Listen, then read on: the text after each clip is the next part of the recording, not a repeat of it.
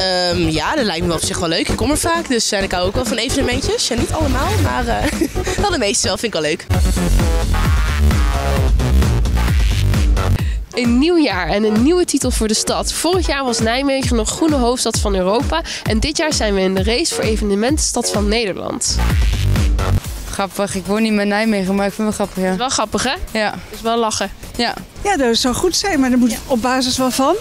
Uh, ja, wel leuk. Het is, het is, een gezellige stad, dus ik denk dat dat een goede, goede plek is die uitgekozen wordt. Wat betekent dat? Vind ik een goed idee.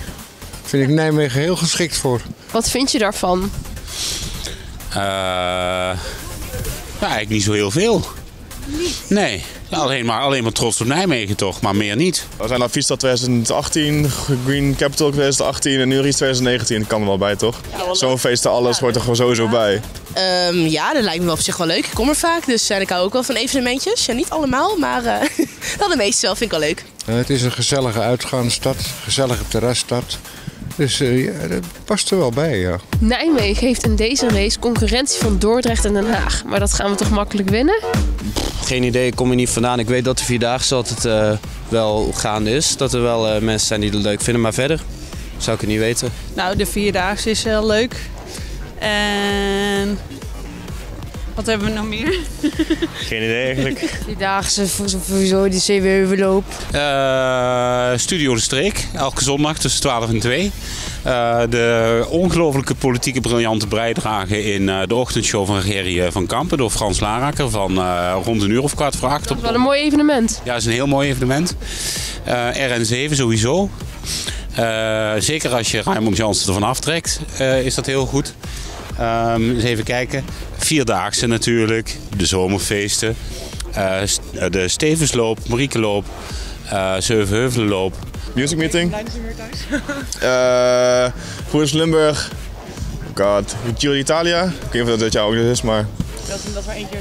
Dat is vorig ook toch? Ja, geen idee. Ja, dat. NEC ook een klein beetje, alhoewel de prestaties iets omhoog mogen. En een nieuwe stadionspeaker is ook nooit uh, verkeerd. Help mij eens even, jij bent een Nijmegenaar. Gek van de Vierdaagse feesten? Daar hebben we nog meer. Hoeveel moet ik er noemen? Nee, dit, dit is al heel wat. Vorig jaar de Groene Hoofdstad. Dit jaar evenementenstad. Wat zou jij een leuke titel vinden voor volgend jaar voor Nijmegen? Nou, daar moet ik over nadenken. Nog nooit over nagedacht. Ja, feeststad of zo. Of, of festival city. Of uh, ja. Wel de studentenstad, ja. Oh ja, leuk. Ja, het is wel de studentenstad Nijmegen. Ja. De gezelligste stad van Nederland. Ja, ik heb veel uh, gezellige mensen vandaag aangesproken, dus ik denk dat dat een mooie uh, titel zou zijn. Ik weet niet of het een ding is, maar anders zouden ze speciaal van Nijmegen in het leven moeten roepen. Oké. Okay. Fietsstad. Want ik vind Nijmegen heel rijk voorzien aan goede fietspaden. Ja, ja, ja. Nijmegen is gewoon de shit. 024 alles. Ja, natuurlijk, maar ik heb geen mooie titel eigenlijk, nee. nee. Denk iets voor volgend jaar. Ja, uh, niet meer de gekste. Ja. Misschien een studentenstad of zoiets, een studenten of zo, dat zou wel kunnen.